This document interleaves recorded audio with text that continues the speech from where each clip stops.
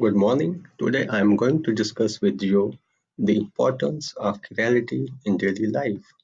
As you know, chirality is a concept in stereochemistry. A chiral object is non-superimposable on its mirror image. So these are few examples of the objects which are non-superimposable on its mirror image.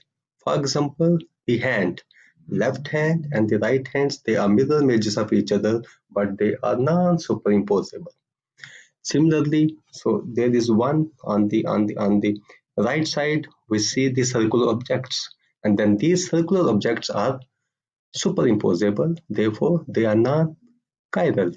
So the objects which are non-superimposable on its mirror image they are known as chiral objects and they are the, these two are also known as enantiomers. The object and its mirror image, they are known as enantiomers.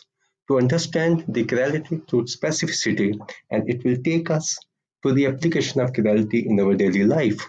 For example, D-glucose, which we use quite frequently in our home, is the instant source of energy, while its mirror image L-glucose is not.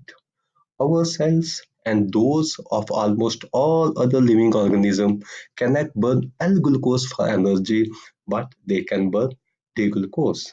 The reason they can burn only one form of sugar is that enzymes that assist in reaction that burn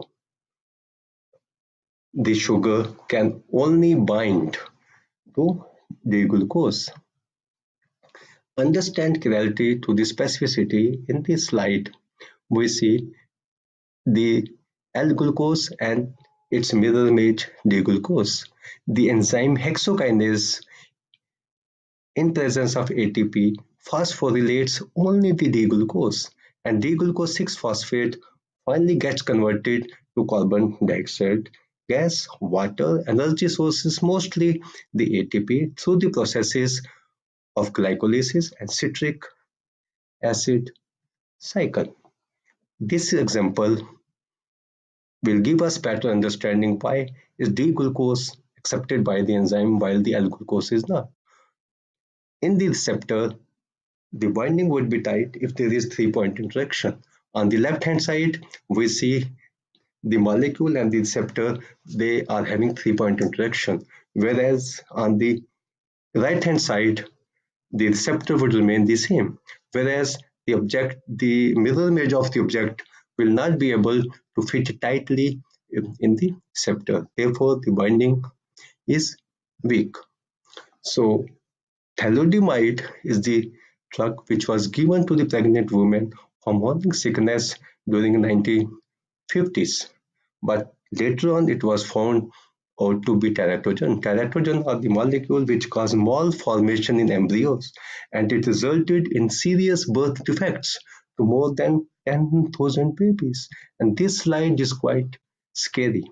And later on it was found that out of two molecule, because in thalidomide we see there is a chiral center. And one molecule was the drug while the middle image was the poison was the teratogen. And this resulted in giving push towards the development of enantiopure drugs. And these are the few examples of blockbuster drugs available in the market.